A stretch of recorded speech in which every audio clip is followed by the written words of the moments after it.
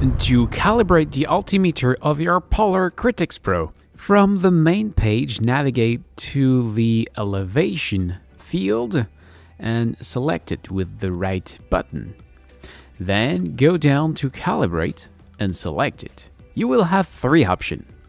I'll add my current altitude, so you just input your current altitude and that's it, you're done. Uh, you wait for the calibration, of course, and you keep waiting or, if you don't know what is your actual elevation, you can come back to calibrate and you can say, let my phone calibrate it or use the watch location. These are all good uh, way to calibrate your watch. Uh, if you're outside, you can use the watch uh, by itself.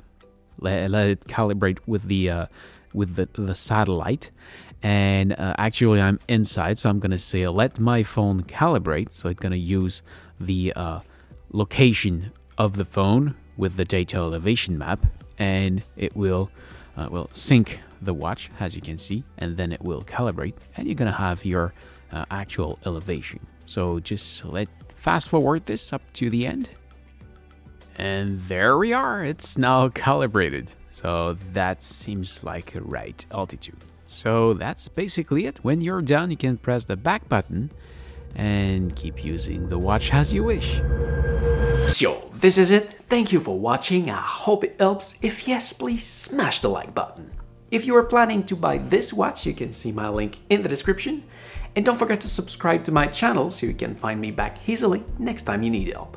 If you want to see my other tutorial about this watch, you can see my playlist just right here.